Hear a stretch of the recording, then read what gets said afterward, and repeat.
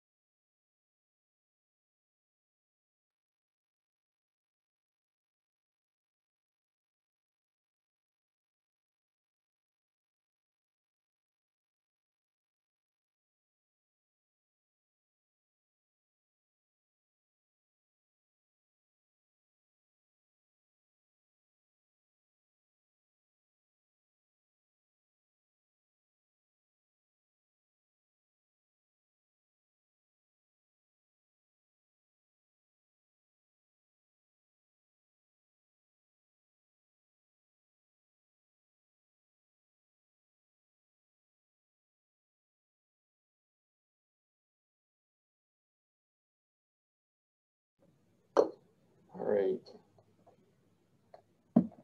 As we come back, I hope everybody has this idea in your head um, about where things started uh, for you and where some of these ideas, what's informed some of your thinking about this in the past. Um, right? Because justice is a word that gets used in so many different contexts, into so many different meanings. Um, and very often as we try and then talk to each other about justice, um, not having shared definitions of it um, and having really different expectations and experiences of what it means can be a challenge as we start to try and sort through um, uh, relationally what justice means. Um, and we're going to look at a couple of definitions today, but I think that's one of the things I would have you keep in mind from the start is that justice is often a relational concept, and it's often a um, uh, process concept rather than end result concept, right? And so those are two of the big uh, kind of differentiation points that we often see in, in conversations about this um, are about process versus outcome, right? And sort of relationship versus individual. All right, so let's jump into some slides. We'll start there um, and we'll keep trying to figure out ways to chat with each other in doing this. Um, all right, so let's do some, let's do some slides to get going. So, hi everyone. My name's Braden Paynter, uh, and I am the uh, Director of Methodology and Practice at the International Coalition of Sites of Conscience. Um, we are a network of museums, historic sites, places of memory around the world. Um, and what brings us all together is a belief that our historic sites have a uh, role to play in building more just, humane, and sustainable world. um, and that our sites are also much better when we do that connected with each other. Um, as I said before, I see a lot of good friends and uh, members and allies and coworkers and colleagues on the call already, and lots of other people. Um, I'm sad that we are in a format that doesn't let us connect uh, as directly with each other. Um, when we're in the coalition, we think that as folks try and make change around the world, we try and make sure that people have access to the information and the skills that they need to do that, but crucially that people have access to the relationships um, that they need to do that too. We find that it is relationships that power the change that people try to make.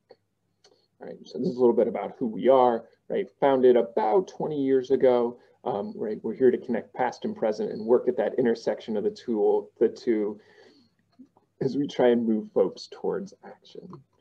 Um, all right, update this. And uh, I am coming to you today from um, Western Abnaki land um, in Southern Vermont. So as folks are doing that, some of you know me from living in New York or DC, but I am up in Vermont now, so excited to be connecting with you all um, at NEMA. Um, yeah, and so definitions of justice, right? This is a place that we're, I'm probably not going to tell you things today that are going to be um, taken out of context, anything new for you. Um, and what I'm hoping to share are a couple of different perspectives that we see people kind of talking to um, from around the world as folks think about this, right? And having a sense of the underlying structure that we approach the idea of justice with is really helpful both for ourselves in finding our own ways into doing justice work, um, for reimagining what our work as museum people is as justice work, right? Um, and then also co connecting and uh, working with others who have different conceptions of justice than we do. Okay. Um, I want to just start with one quick quote from a great thinker at Notre Dame. His name's David Hooker. Um, and he said, we have to do not just fruit work and trunk work, but dirt work. Um, one of the things as I listen to people talk about justice around the world, people use a lot of metaphors for justice, right? We often, it's something that is not always the easiest to explain when we try and say to somebody, what is justice? Um, right? And we start pulling on all kinds of other words, fairness and equity and this and that, and right? Um, and a lot of times people turn to metaphors, right? Um, and so this is a great one uh, where David Hooker was talking about kind of using this metaphor as a tree, um, right? In, in the context, in this context, in the United States, talking about um, policing and race, uh, he would say, right, it's not just those kind of uh, end result pieces, the fruit, right? And it's not just the basic structures of the tree, it's about kind of culture and what is in the dirt that gets sucked up that makes the tree, that makes the fruit, um, right? And so he was using a tree metaphor. Um, and so we're gonna pause here. We're gonna have more silent reflection, um, which I'm, uh, I'm excited for you to have that silent reflection. Um, but I'm also missing, because I now wanna know the answer to each of these. Um, I want you to take 30 seconds. And if you had to explain your concept of justice to somebody, what is the metaphor that you would use? Okay. Um, so I'm curious for you to think in terms of metaphors now, right? What's inside of you? How would you explain this to others? Right, so take 30 seconds and think about that.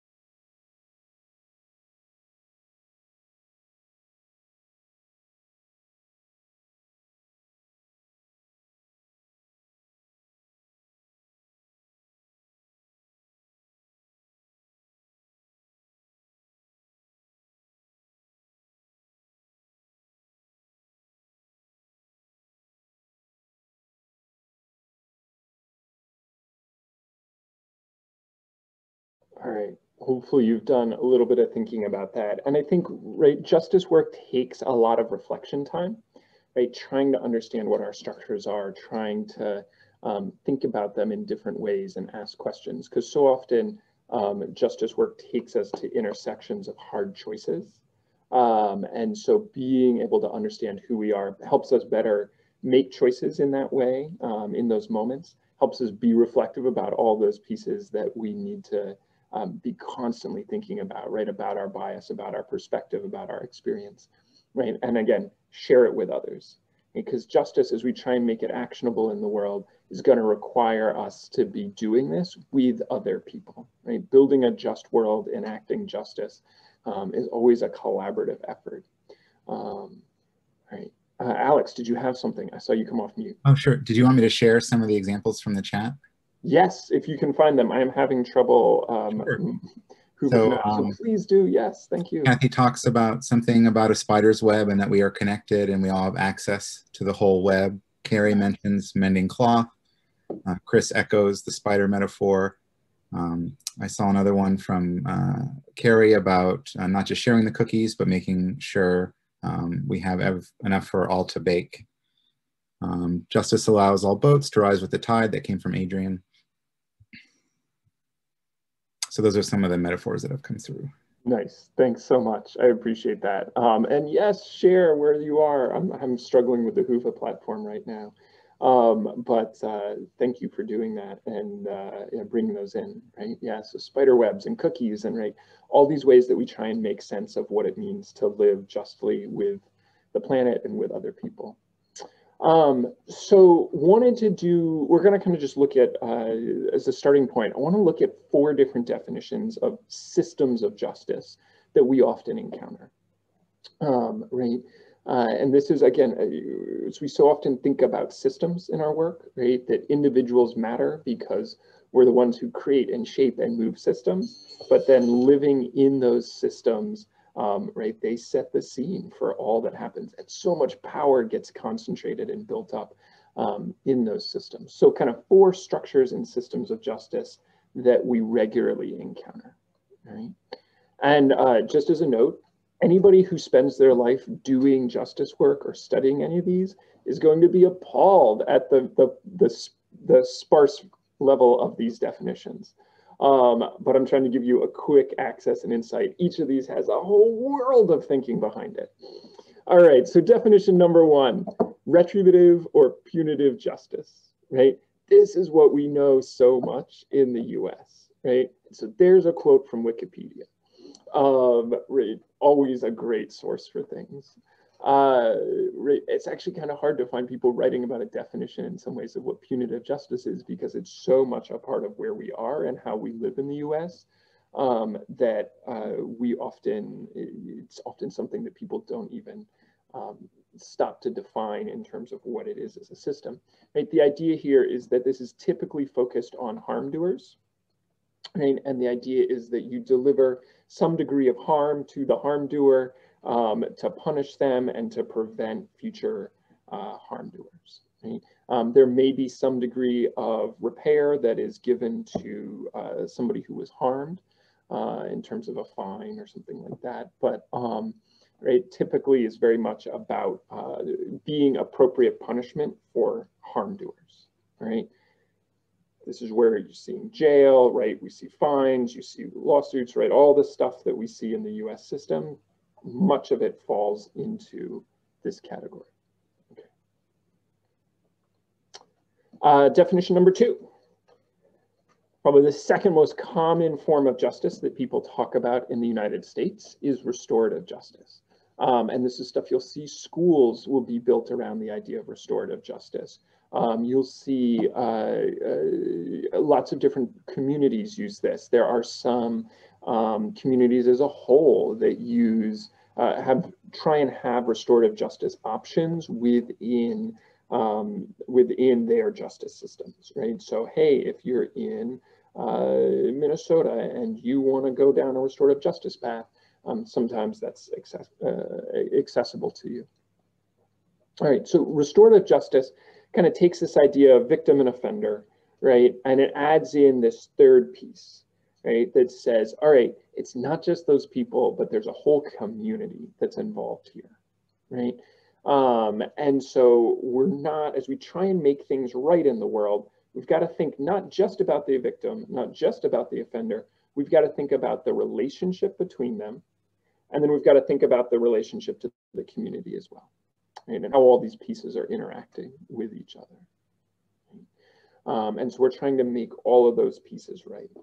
Um, and restorative justice often involves trying to bring individuals into communication with each other um, and then making sure that the actions that come out of restorative justice are directed at um, repairing and restoring each of those, right? particularly victim and community.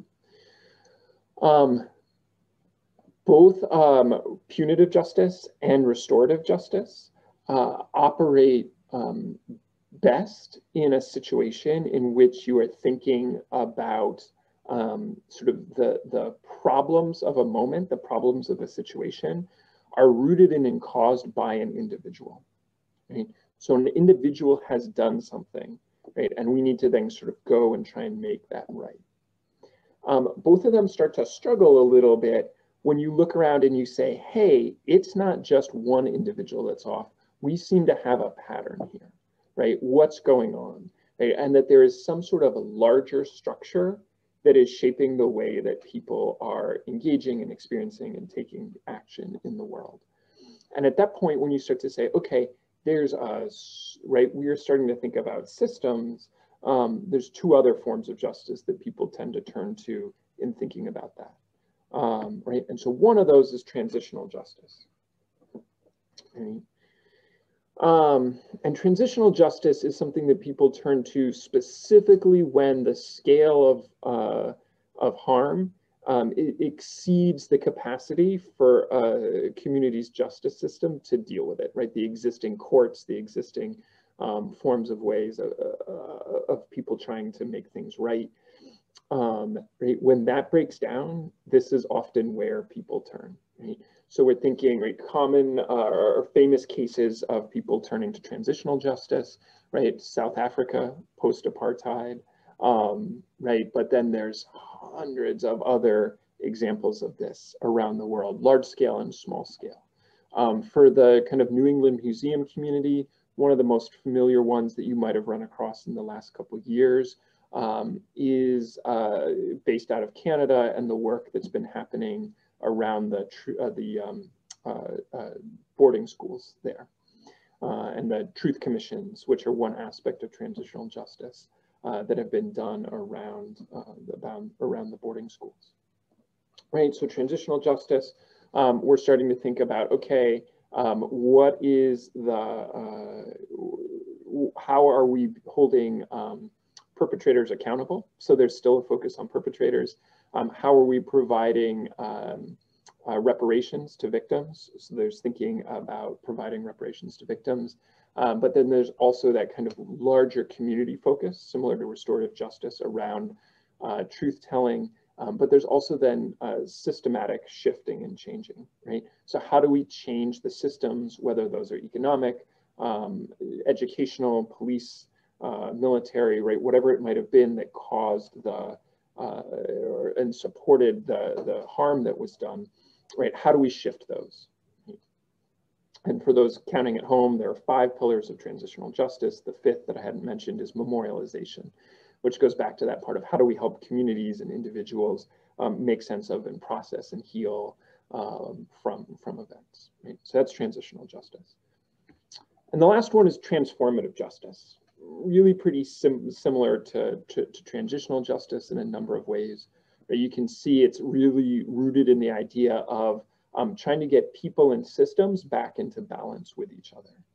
One of the big differences between transformative and transitional justice um, is that transformative justice eschews all use of um, uh, punitive measures uh, transitional justice will use uh, punitive justice as, as a component of it, right? So if you, when you think about that, uh, that is things like uh, war crimes trials, right? So, hey, we're going to take somebody and we're going to take them to The Hague and we're going to put them on trial and um, try and hold them accountable in those ways and prison sentences and things may come with that. Um, right, so that's a that's a part of one of the, the of transitional justice, not so much a part of transformative. All right, so here's a brief summary of each of those, right? These four definitions, right? Retributive, punish the perpetrator, restorative, address harm and relations between the perpetrator, victim, and community, um, transitional, support victims and change problematic systems, right, can include retributive aspects, um, and transformative, right, address relationships between individuals with problematic systems that cause the harm, does not include retributive aspects. Um, so another kind of conversation and discussion moment uh, that I love people to turn into. Um, Alex, yeah, are there questions? Yeah, no, I'm so sorry. Uh, I just Oh, wanted great. to No, please that if um, folks raise their hand, I do have the ability to unmute them individually. Yes. Great. Yeah, let's do that. Let's have some folks talk. So if anyone's interested in talking, just indicate um, with a raised hand or throw your name in the Whova chat and I will unmute you.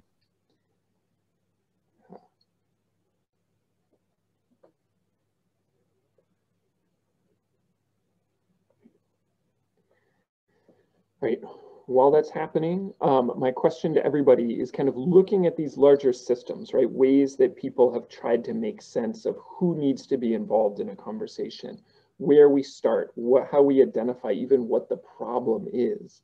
Um, I'm curious to ask to for people to to um, uh, write in the chat, or if you want to come on and talk about it, right? What kinds of systems do you see operating in your um, uh, in your communities right now? And what are the conversations that you hear from people as they try and think about new or different forms of justice that they want to be a part of and live within? So I'm going to go to Mia. Yeah. Hi, I hope you guys can hear me. Hi. Yes. Oh, okay, good. Um, so I was just thinking, actually, um, back in the in the past a little bit, um, I grew up in different school districts across different states. Um, I didn't land in New England till I was, you know, middle school, and seeing how ideas of diversity and ideas of justice and so forth were treated very differently depending on where we were. And seeing that there were communities where, unfortunately, there was um, particularly strong inherent racism or anti Semitism that crept into elementary schools. I wonder, you know, at, you know, at that young age, having certain ideas about what diversity looks like, what justice looks like, um, and addressing those issues with young children, the importance of that um, from from such a young age, and different kinds of justice uh, as well. Um, exposing them perhaps to what's going on in the news more, what's going on in in the larger society a little more. I think young kids can actually be trusted with that more than we sometimes um, expect them to.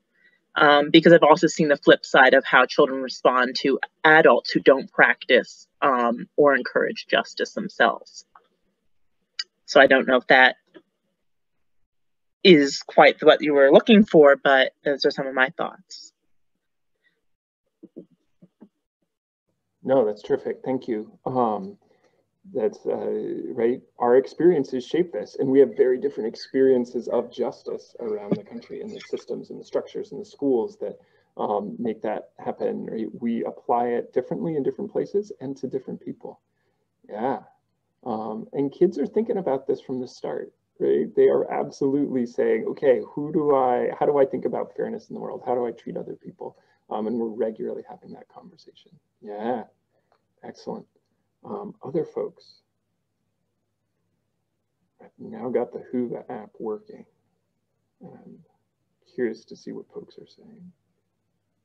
Nice. Restorative justice is a part of Deborah's town school system. Yeah. Okay.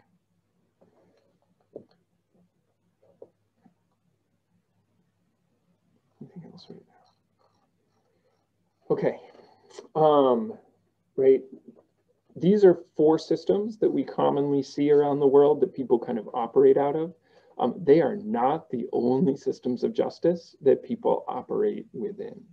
Um, right, we can think about First Nations communities across North America having other systems and conceptions of justice, right? Communities throughout the world um, that have other forms and structures of doing this um, and ways of looking at that. Um, I think about uh, members working in South Sudan and in, and in um, Kenya who use uh, traditional forms of justice in those spaces that try and eschew some of the more um, uh, uh punitive uh, structures that have come in as parts of um, colonialism. So, uh, right, understanding what we're operating out of as a system, what we have in our head, where we see people operating in these different ways um, is helpful in our own work. Right? Uh, and it's important to ask those questions that sort of highlight in all of these around, um, right, who are we paying attention to? How do we start to define problems? How are we asking people to engage and interact with each other as the process of justice unfolds? Okay. Um, the thinking about then, how do we start applying this to our work? Um, and a place we see a lot of historians and museum people get hung up um, is that uh, it's unclear to them how history work or how um, museum work or artwork or science work can be a part of justice movements, right? We might see a little bit of an entry point, we might see some space for it, um, but making those two things the same is not always immediately apparent to everybody. Um, part of what I would invite everybody to do is to flip the order that we ask that question in. Right? So we often think of ourselves as museum people and we say, okay, how can my work become more like justice work, right? I'm a historian. How can I start to support or do a little bit of justice work out of the history work that I already do. I would invite you to flip that conception, right? And say that if we are engaged in education, if we are engaged in caring for our communities around us, right? We are at base doing justice work, right? That is what we are here to do as cultural organizations, as institutions. Um, and so we happen to be using history in a particular moment. We happen to be using um, museums in a particular moment. Um, but I, so I would encourage you to sort of flip that conception in your head a little bit. And then what I would invite you to do is as you look around the world, you're going to see a lot of people are constantly asking that question. Right? I don't have one answer for you to say like, hey, this is exactly how a museum can do this. This is exactly how a museum can do that. Um. Because I think there's tons and tons of entry points to this that people are constantly trying to answer. So I'm just going to show you four ways that I have seen people recently talking about how people can become involved in this, how to conceive of um, our work as justice work. Right? These are non-museum examples. Um, I thought about bringing a bunch of museum examples. Um, had I known we were going to do this as a as without the interaction, maybe I would have. Um, but I actually I, I, want us to think about this from not within our field, but thinking about this um, from elsewhere, because sometimes our field will put up some boundaries. It'll limit our imagination for what we can do. Um, and so thinking about this, how are other people approaching this can help us reimagine our own. So let's go back to a couple of slides here. All right. So four ways I've seen people trying to answer the question of how do we start to participate in justice work and how do we shape that? All right. So from the Albert Einstein uh, Institute, uh, they have a list of 198 methods of nonviolent action. I did not try and fit all 198 onto a slide, um, but they've got them all there, and there are more, right? So as people say, okay, what does nonviolent action look like in the world? How do we become engaged? Right? You can see in there, there are some, some conceptions of morals and ethics and justice systems already starting to get baked into um, just the title and the conception of this, right? But that, that just action requires nonviolent action. Not something that everybody agrees with, right? And there are ways for us to get involved in that. And the way they break it out is into four focus areas. Nonviolent protest and persuasion, non-cooperation, economic, political, and social, and nonviolent intervention, psychological, physical, economic, political, and social. All right, check out the whole list to see what it looks like. There's a link there at the bottom. Googling it might be easier than trying to follow the whole HTML trail, right? Um, but as you look around you and you see people starting to say, let's organize, let's mobilize, let's build nonviolent movements, that's people talking about justice work, right? Not a surprise. Right? It's often in the, the title and in the, the conception of what they talk about. But they're also talking about what you as an individual and what you as an institution can do, right? And so starting to say, hey, what are these ways of providing nonviolent action, right? Most museum action probably will be nonviolent in some way. And so what are the ways that museums can play a role in supporting these or being actually carrying some of them out? Right? And it's interesting to start to work through that and realize we have a lot more levers to pull than we think. Right? We often go to this place in museums of saying, look, okay, uh, we want to do something. Well, let's do an exhibit about it.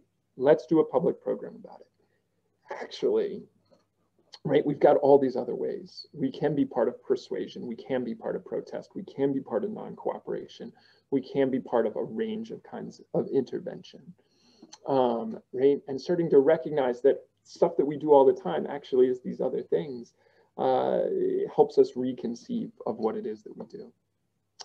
All right, way number two. When I see people talk about allyship, right?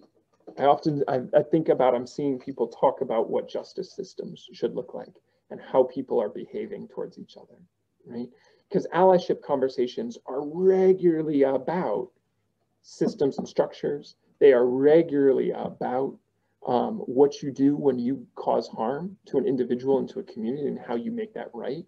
They are steeped and rooted in restorative justice practices, um, right? And they are then thinking about that kind of leveraging up from that restorative work, right, up to that systemic change work as well, right? So when people talk about allyship, right, and as we then think about what does it mean for our institutions to be allies, right, and to be agents and to be accomplices and all the other words that people are moving into as they try and push allies to being active, to be to taking action. Right? Um, right? So when I see people doing ally work, I see them, I see us thinking about trying to define justice work in there too. Right? Third, this is great. I hope many people have seen this already. Um, it's part of a, a, larger piece.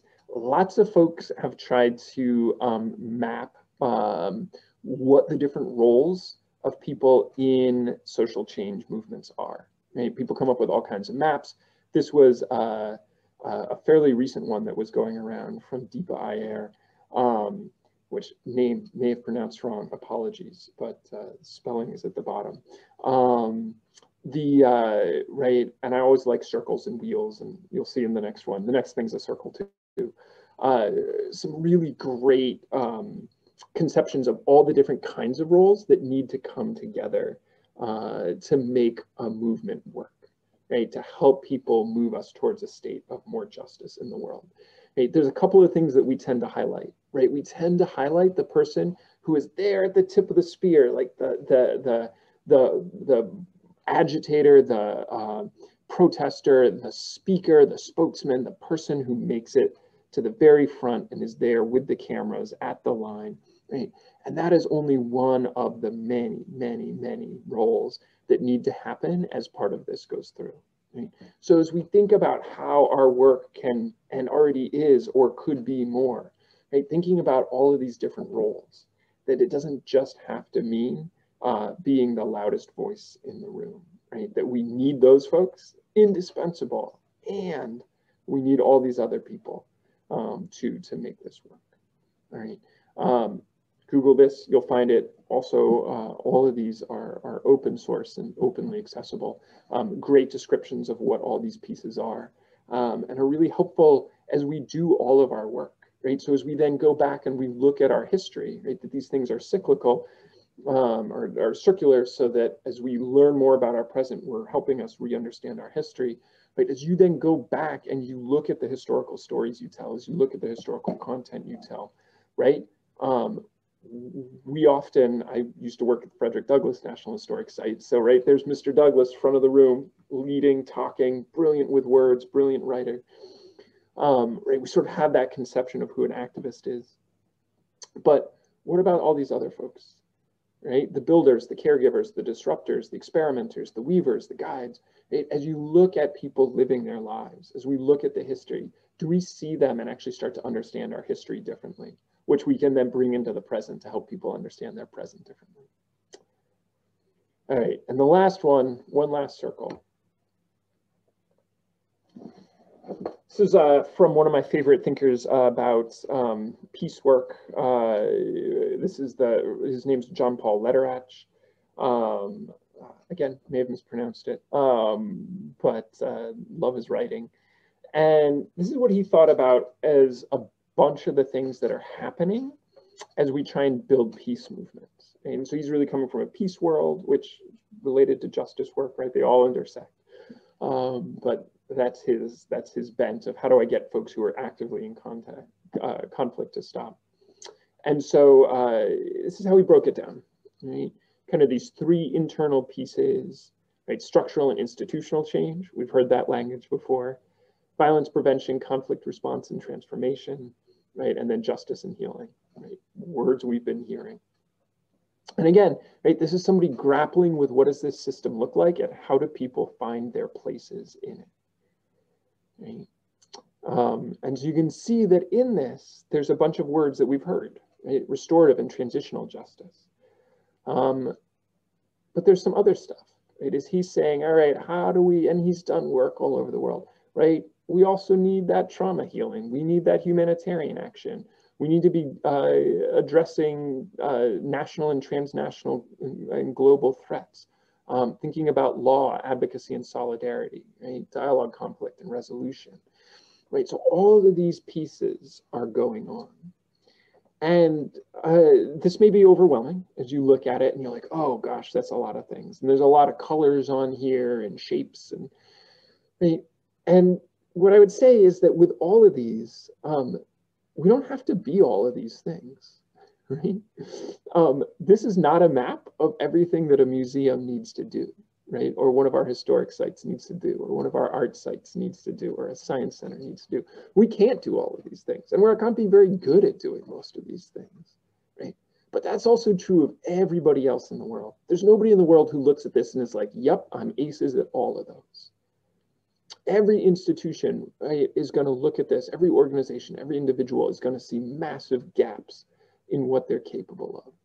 And so what that means to me and for us is that as we look at things like this, means the places that where there are gaps, that's where we find friends. And the places where we are stars, well, we got to step up and carry that because there might not be other folks who can right? And so as we think about finding our way in the world, finding our way into this, re-understanding what we're doing, right? It's not that we necessarily need to stop doing ed programs or we need to stop doing exhibits. It is understanding that when we do an education program, when we do a public program, when we do a hands-on activity, when we do a, a nature walk, when we do, right, each of those has the opportunity to be about trauma and healing right? It has an opportunity to be about bringing people into relationship building that supports nonviolent social change. Has the opportunity to be about dialogue between people, right? Um, and so it has the opportunity to be about that truth telling that needs to happen as a part of this. Right? And so it's not so much that right, we do have to shift lots of things about museums, right? But we're not leaving all of it behind. We're already doing a bunch of this already. Um, and so it's kind of changing what our starting questions are often to help guide us into doing this. All right, so I'm going to stop there. Um, I ended up talking more than I meant to because, hey, I only had eight slides. Um, so let's pause here and say how folks feeling. Um, thoughts on your mind, ways this is resonating, things that are confusing or challenging or not settled for you about this, ways you would want to apply this in your own work.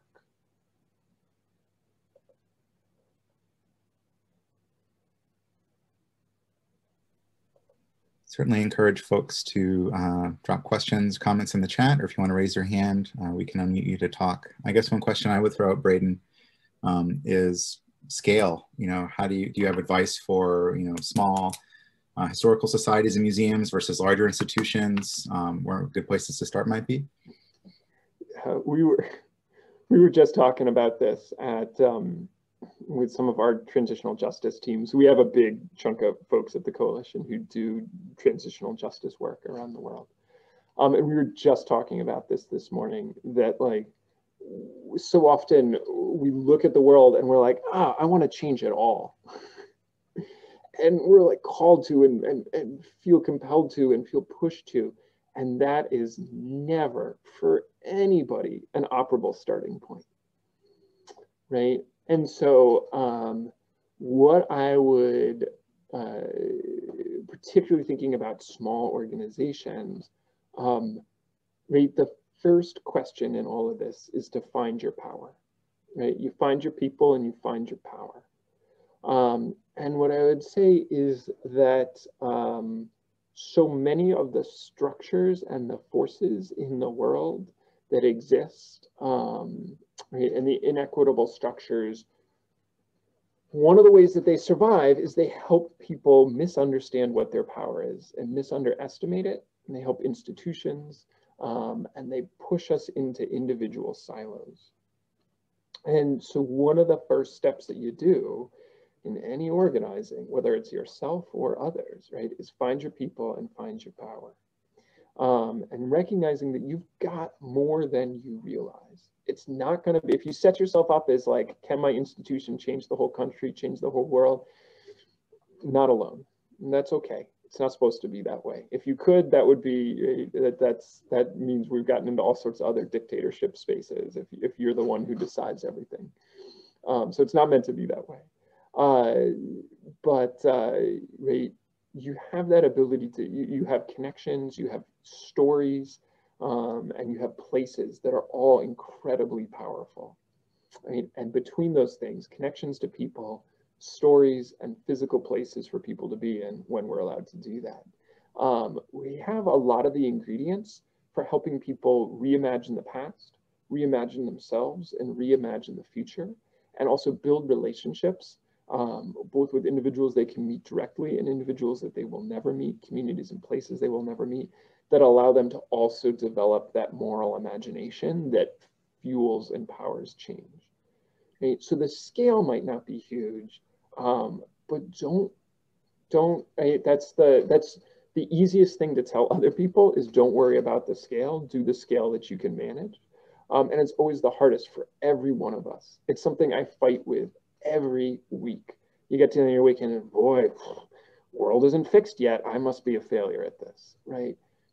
All my colleagues face it. Every one of our partners faces it. We all go through that every week, every day. Um, right? Don't worry that the scale's not the hugest. You do what you can where you can. So, Great. Uh, so building on that, Zach uh, asked a good, great question. Have you seen a punitive model successfully transition to a restorative or transformational justice model? If so, what did that look like? Yeah, I think that's another scale question, um, right? And this is a place where uh, there are people who are going to have much better, um, much better examples. There are people who are like real experts in each of these.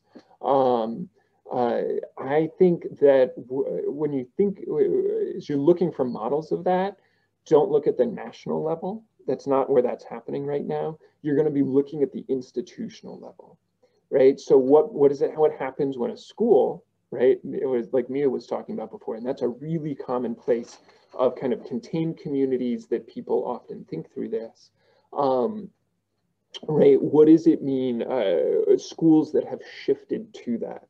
Um, and I don't know where you are, I, and I, I, don't have a great sense of all of the schools that have tried to adopt that across New England. Um, the person I've worked with the most who's done that is actually out in San Francisco, who changed a school out there.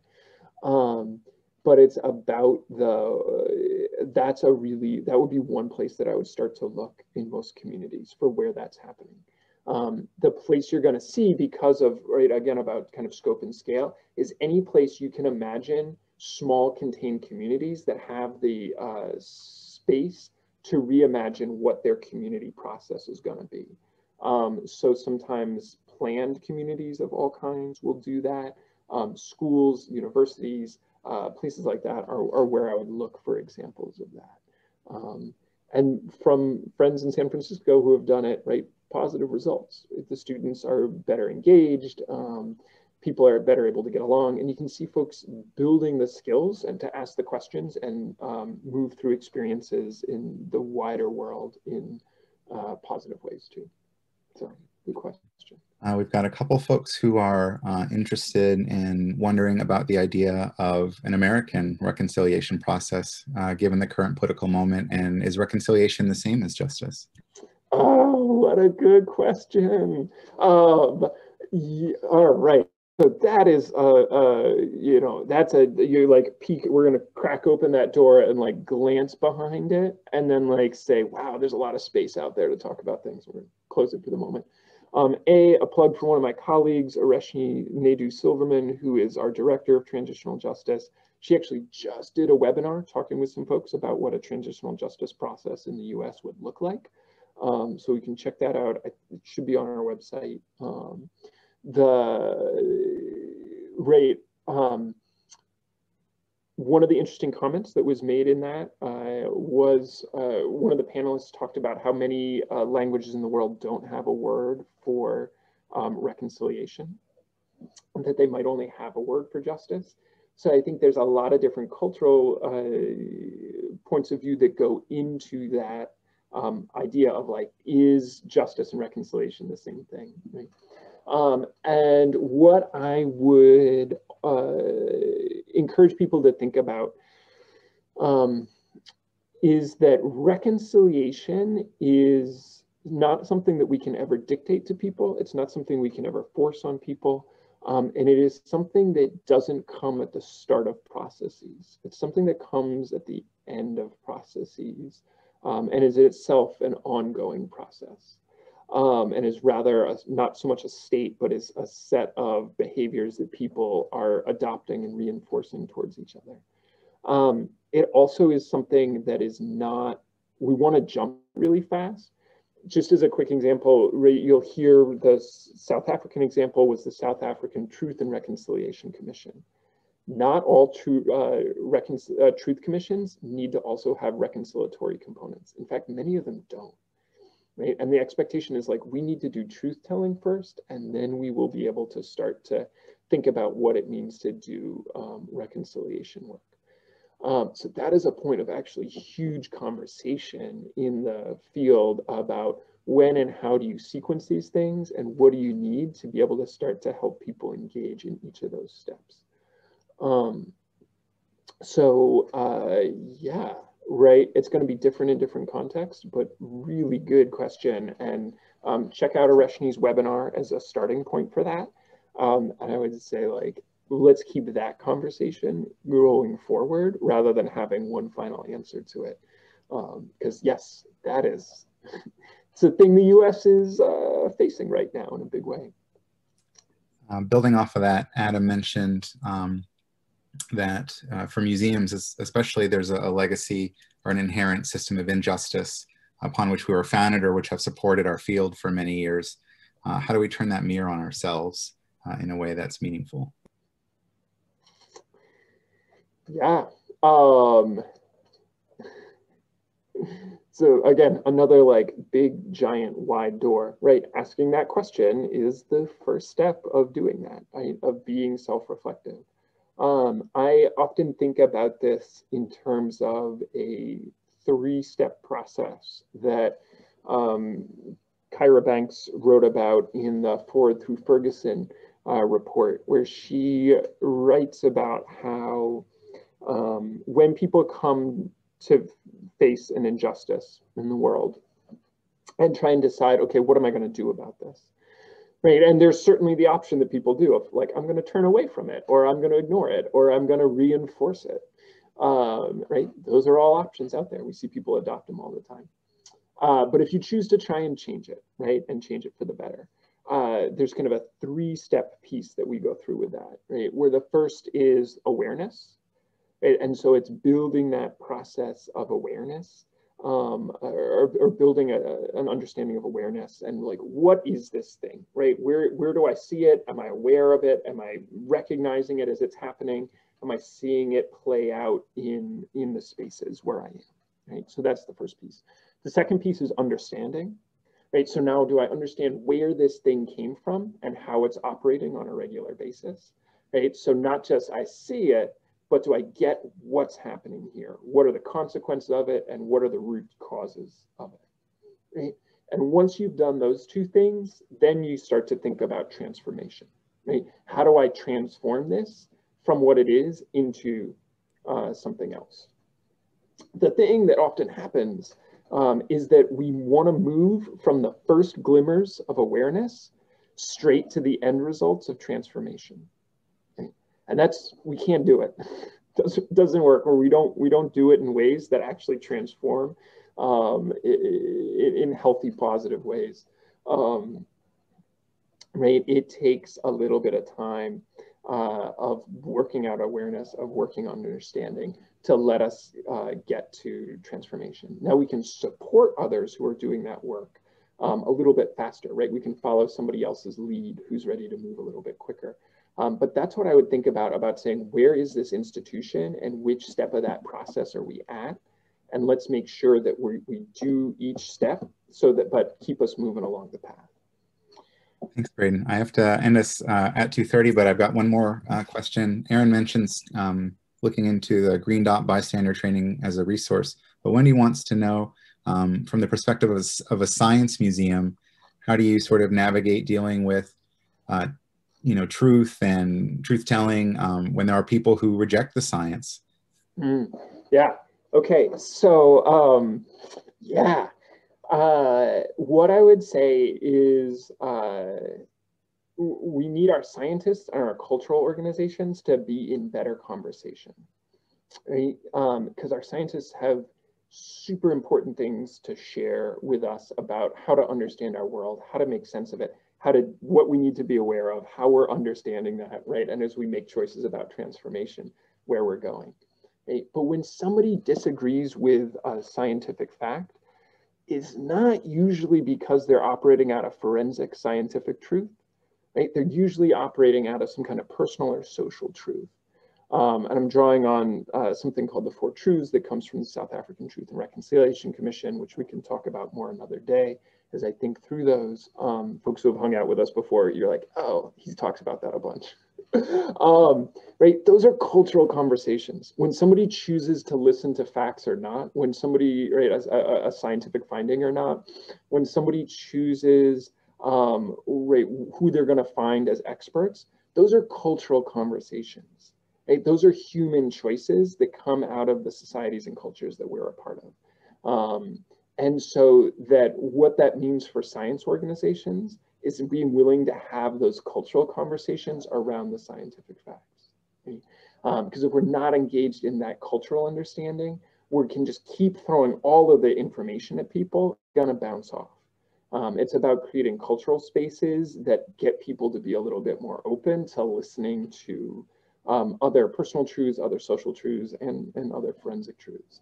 Um, so a super long uh, conversation to have about that, but I think that's where um, that's where I would start to think about that. Uh, more fact isn't always going to solve that. We got to keep it there. We got to keep that forefronted. Um, but uh, recognizing that that's only going to take us so far if somebody's made not a fact-based conversation, but a cultural-based um, decision. So, yeah. Maybe a good place to, to close out is yeah. to circle back to Chris's question. And he was sort of asking, um, you know, when there's so much animosity and digging in around these perspectives, and, you know, folks are really feeling like they have to choose a side in these cultural conversations, how do you move through uh, animosity towards understanding? Oh, um, gosh, uh, we've got 60 seconds. So, right. um, right? Uh, less than that, probably.